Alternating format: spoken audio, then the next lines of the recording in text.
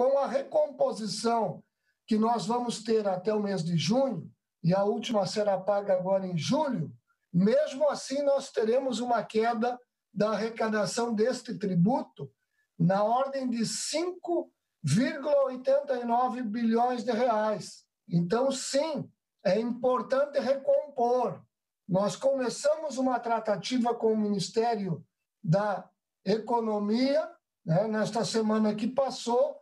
mas eu não posso lhe dizer se tem uma sensibilidade, se,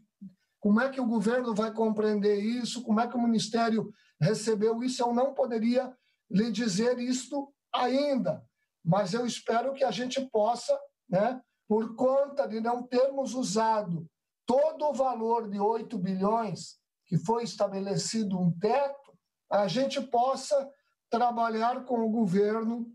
no sentido de recompor pelo menos mais